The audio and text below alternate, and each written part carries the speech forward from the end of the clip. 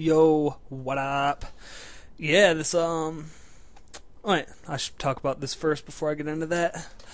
Um I was going through the for the thrown for a loop um mission right there, but then I realized that I got to do the bridging the gap mission first, so I got to get this bridge up and running and then I can go do the the loop de loop thingy thing.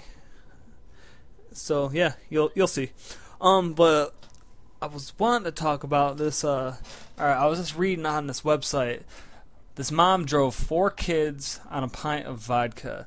Um, this chick named Michelle Reyes, uh, 30, 30 year old mother of four from southern New York, is uh, facing four felony charges because she crashed her fucking minivan with her four kids inside of it. The kids are 18 months old, 4, 5, and 6 years old. and this bitch drank a fucking pint of vodka and then went driving. She um her blood alcohol content was 0.27%. That's fucking ridiculous. This bitch was wasted. And her kids weren't even in car seats or even in their seats. They were just hanging out in the van. And she got in a fucking accident. What kind of fucking retarded shit is this? I mean, who the fuck does oh. that? I mean, I've drove drunk before. I've drove drunk a lot. But I could never I would never ever drive with my fucking kid in the car drunk. I mean, it's bad. I, I won't drive drunk now at all anyway. That was retarded of me. But Jesus Christ, you're fucking, you're four little kids in the car and you're wasted.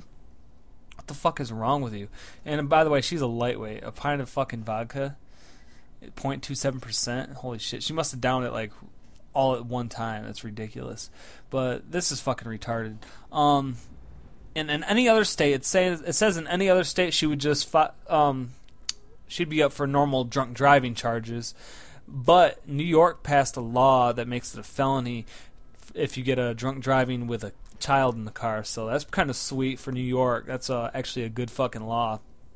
And in fact, in other states, she'd probably um, get charged with more shit than just drunk driving. She'd probably get child endangerment and shit like that, and probably get her fucking kids taken away. Which I'm thinking she's probably gonna get her kids taken away for that anyway. But yeah, that was just that. That just blew my mind. I uh, I couldn't believe that shit. That was crazy. And then um, this other story I just saw, this model um, in Reno, some some old model. She's what how old is she? She's 28 years old. Her name's Rosemary Vanderbroek or whatever the fuck her name is. Anyway, whatever. She's pretty hot in her modeling pictures, but in her other pictures she's kind of fucking ugly. But anyway, she crashed a fucking rented RV into the Reno Arch. If you don't know what the Reno Arch is, um, it's in fucking Reno, Nevada. They got this arch thing that goes into the city, whatever. She she was waste or earlier in the weekend she got arrested on possession of ecstasy and they let her go. And um, then she gets wasted again or something, and then runs her fucking rented RV into the Reno Arch. This shit is fucking hilarious. Um, at least she didn't have any kids in the car.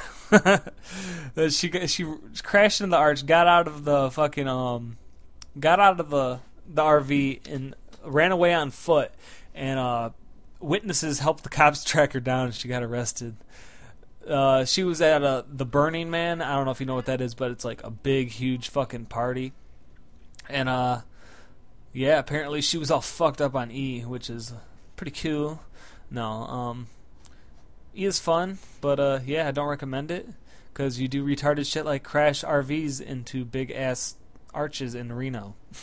Why the fuck would you be driving an RV through fucking downtown Reno, fucked up on ecstasy, fucking retard? But whatever. I'd still fuck her. She's kind of hot. but anyway, you just saw me do the loop thing. This video is over. I wasted the whole thing just yapping about stupid shit. But alright, uh, thanks for watching. I'll see y'all later. Peace.